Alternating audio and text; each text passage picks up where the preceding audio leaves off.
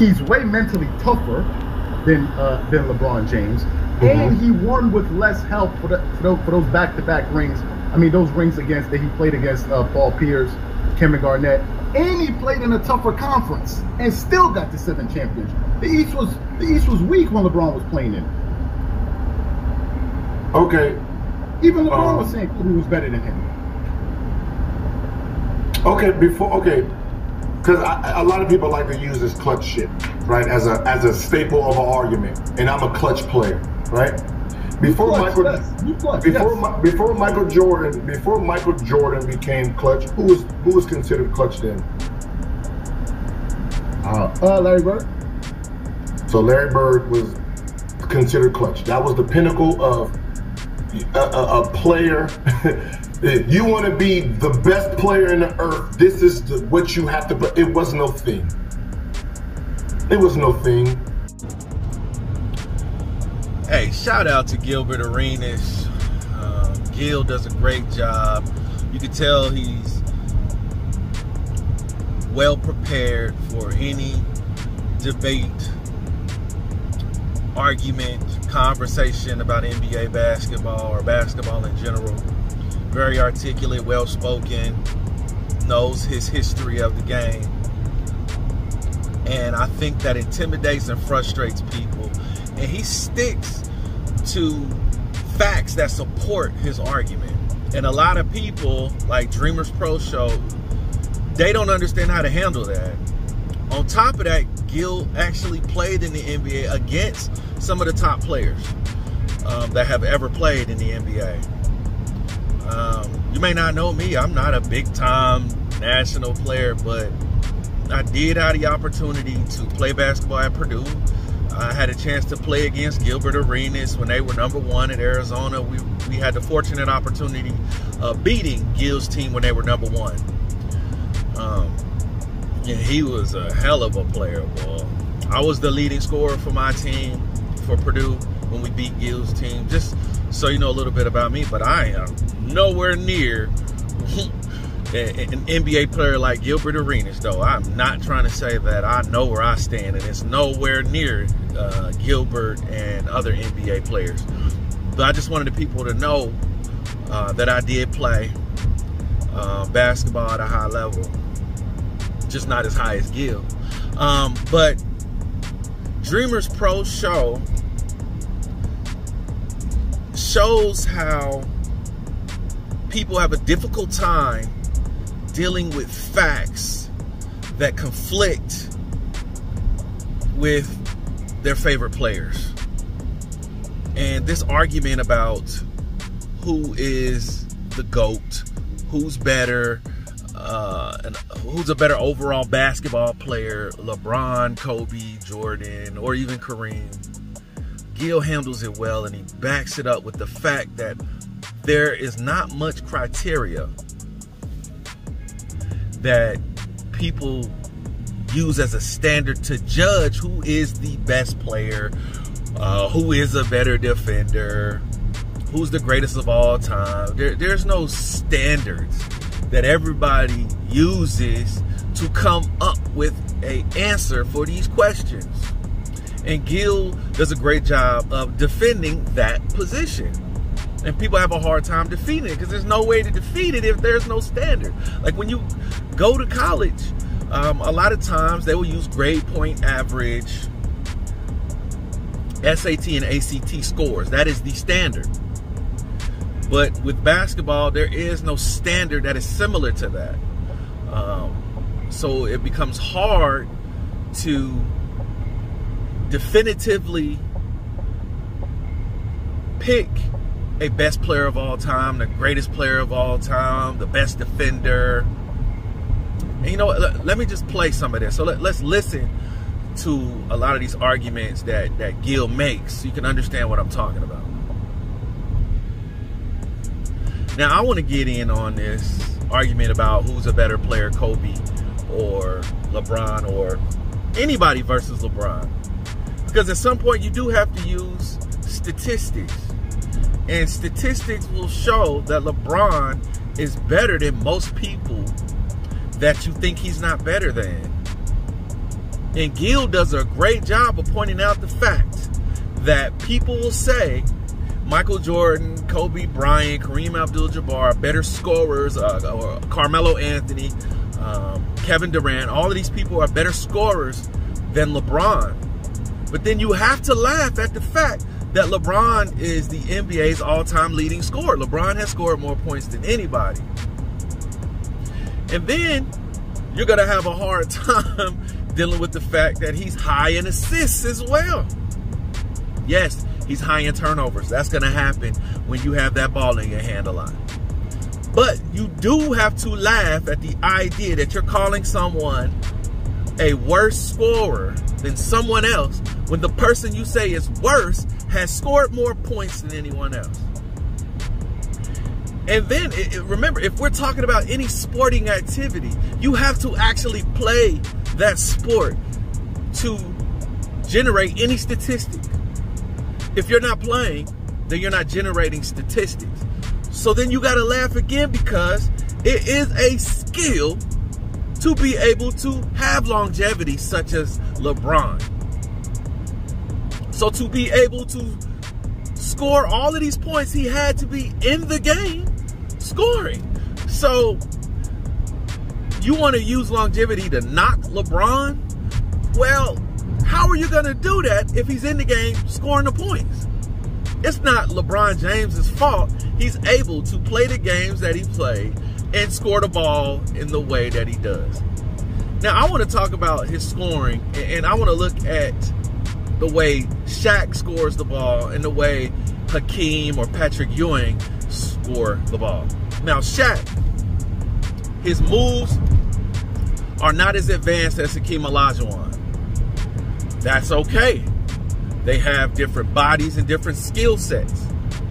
But if I'm Shaquille O'Neal and all I need is a basic drop step dunk, a basic fake spin, turn, hook shot, then I'm going to use that because my body is built in a way that other people cannot stop me. So why do I need to have the footwork of Kareem and the moves of Hakeem Olajuwon if no one can stop me from spinning, from drop stepping, from fake spinning, stepping in, baby hook shot. If nobody can stop my moves, why would I need advanced moves? Why do I need to shoot threes and fadeaways if you cannot stop me from getting to the hole and putting it in with a hook shot or dunk?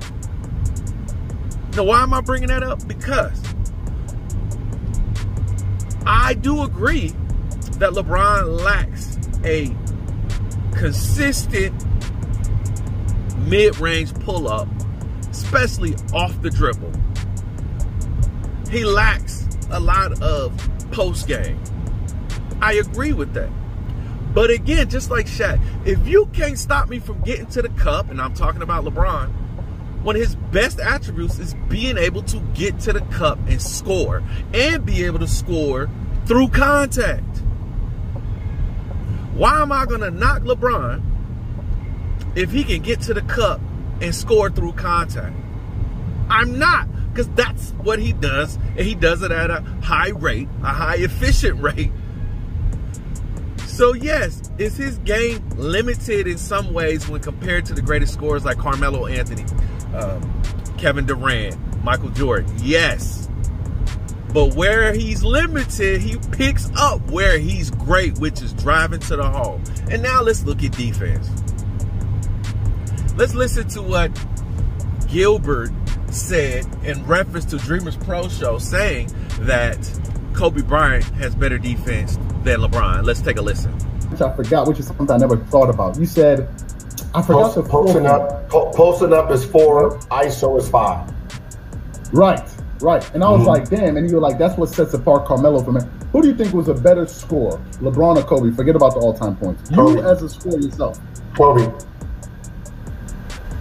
As a better scorer, that, yeah. But but that's why I, I, even, saw the, I even saw the video. I saw the video of you this is before I started talking sports. You was in a training room, and it was like, uh, you see the shots that this man hit. You like, uh-huh. you see the shots that he hit. He's like, it's like it's people are not even there next to him. He's like, mm-hmm. like five people on him. You see the shots that he, that's what you were saying about Kobe. You're like, you was confused, like, what kind of shots yes. is this dude making? But, but that's what I'm saying. I know, but, but that's why I said it makes you laugh when you say, like, a guy who wasn't a natural scorer holding the crown of the best scorer in the most points overall. But this is not about that. It's about you're saying that now if you put him in Kobe's shit together, you're saying LeBron is not an overall better basketball player than Kobe. Not a better scorer, a better basketball player. That's what this is. This is basketball. Nope. I've seen him. Not to me. Kobe plays better. Uh, he's a better offensive player. He's a okay. damn better defensive player. LeBron is a Says better who? rebounder. Says who? Says who? Wait, wait. Le- LeBron is better, better defender than Kobe. Says who? who, who what, what is your measurements of that? No, I'm gonna ask you as the NBA player, who's a better defender, LeBron or Kobe? Gilbert, don't do this to me, man. Are you making me? Who's a better defender, LeBron or Kobe? They're both different. Who who is better? When was the last When was the last time you seen uh, Kobe Bryant chase down blocks and do all that stuff? They're just different. They're different at what they do. They're different at their defensive skills. So how are you measuring the defense itself? Okay, who's better, LeBron or Jordan as a defender? Again. Gil, don't do this to me, man. Gil, don't. How about, okay, how about this? How about this? Who who guarded the most talent, Jordan or, or LeBron, in their position? I think it depends on the era that they play. I mean, Kobe. I would say Kobe guarded more talent. I'm, t- I'm talking about I'm talking about LeBron or, or Jordan. Uh, would, Jordan would have Clyde, huh? Clyde Drexler. Couldn't go left uh, hand. Didn't know what the left hand was. Uh, who else? Uh, uh, did he did he would he guard Charles Barkley? I know Charles Barkley nope. sometimes played three. Uh, let me see. Um, Remember, back then, back then. See, this is the problem with the argument about Michael Jordan. See, see, I, Jordan's my number one, but I can argue against his greatness. Um, okay, so Jordan's the goat. Jordan's the goat for you, though. Yes. So, if if Jordan was the rarity of one-on-one players, he never got to play against what he was good at, one on one. Everybody else was a system player. That means most of those guys didn't dribble the ball. They didn't know how to dribble the ball. So denying them and keeping them from the ball and then take away their shot, they can't put the ball on the court. Who the fuck did he have to actually guard? Oh man, Gil, you're not gonna do this. He didn't go. He didn't go. See, people that may not know basketball probably are clueless in what he's talking about here. If Jordan is the GOAT. And he's great at going one on one, ISO ball, in the post, catch and shoot, can do it all. Gilbert is astutely pointing out the fact then that there was no equal two guard that Jordan would have had to guard that could do the same thing with a similar height. Only person that I could think of that was close would be maybe Starks. But he's shorter than Jordan.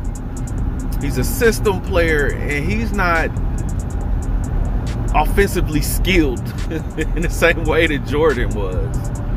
Um, and like Clyde Drexler definitely wasn't, could not go left. Um, Magic was limited. Scottie Pippen guarded Magic alive. I know he's not a two. Um, I mean, I'm. I like the argument that Gil is making here. Think about it. If at that time Jordan was the best at going ISO, one on one, mid post, catch and shoot, six six, athletic, 50 inch vertical, who is his equal? in the 90s? Who? No, no one. That's the argument Gil is making here.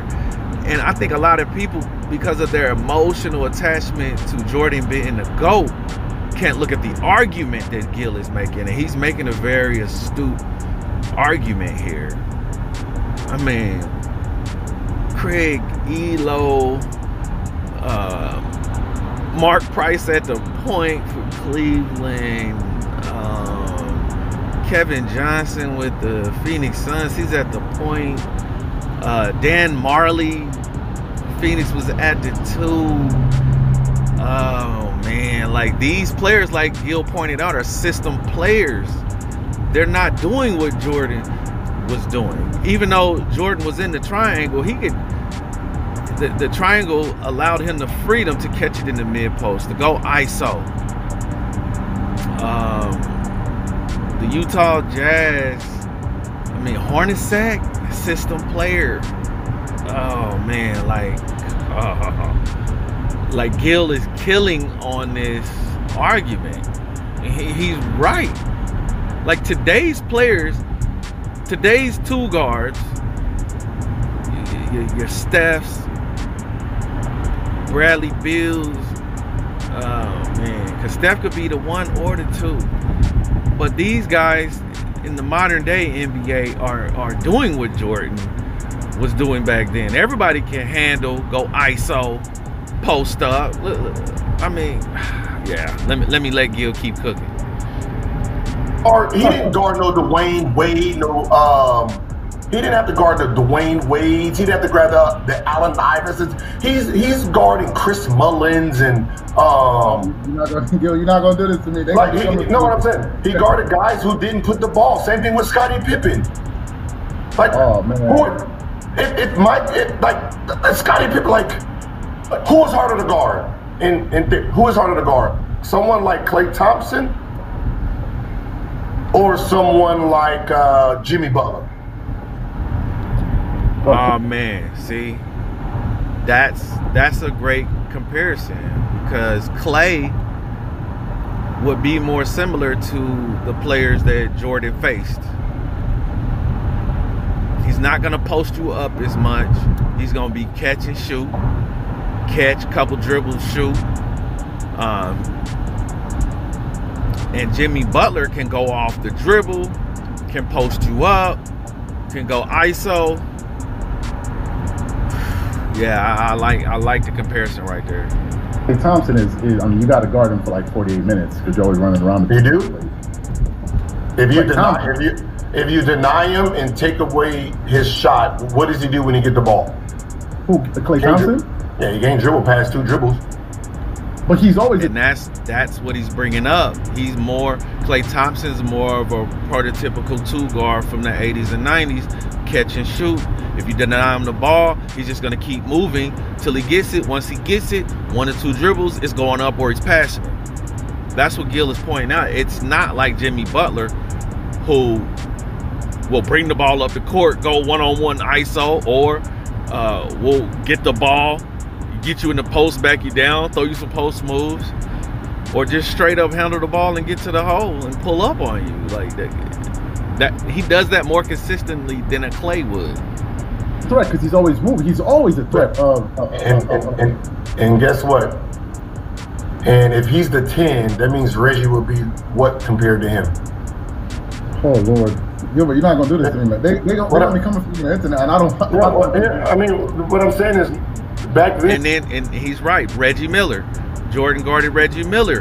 And it's much easier to guard that. Like, Reggie could put it on the floor, but he was much better at moving catching and shooting.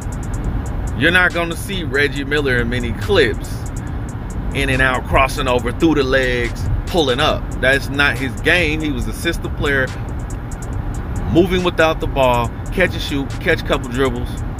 He, he's not he's not doing what you know a Jimmy Butler would do. No one put the ball on the on the on the. You see what happened when guys who actually put the ball, Allen Iverson. You see Jerry Stackhouse, Grant Hill, Penny Hardaway. When those type of guys came into the league, Jordan was the pinnacle. But you, you notice he didn't. He wasn't guarding those guys much back then, right? You know. See, great comparisons. The pennies, the Grant Hills, the six eight athletic build that could handle and post up. They could handle and post up. Like and like he said, then Jordan had a tough time guarding them. Allen Iverson, he had a tough time guarding them because they can handle. See, like he's saying, Jordan was the pinnacle of all of that. But he didn't have to guard that on a night in, night out, night out basis like everyone in the modern NBA has to now. Ron Harper, go get him, Ron. Okay, Ron can't guard. Hey, hey, hey, uh, Pippen, go get them, Pippen. Ooh, Pippen, yeah. Uh, uh, Dennis Rodman, go get him, Dennis Rodman. but, but, but Michael Jordan is getting Defensive Player of the Year. Ah, defensive Player All First Team. Who the fuck is he stopping? Craig Ehlo? See, I had brought up Craig Ehlo. Catch and shoot, move without the ball, screen pop. Come on, y'all.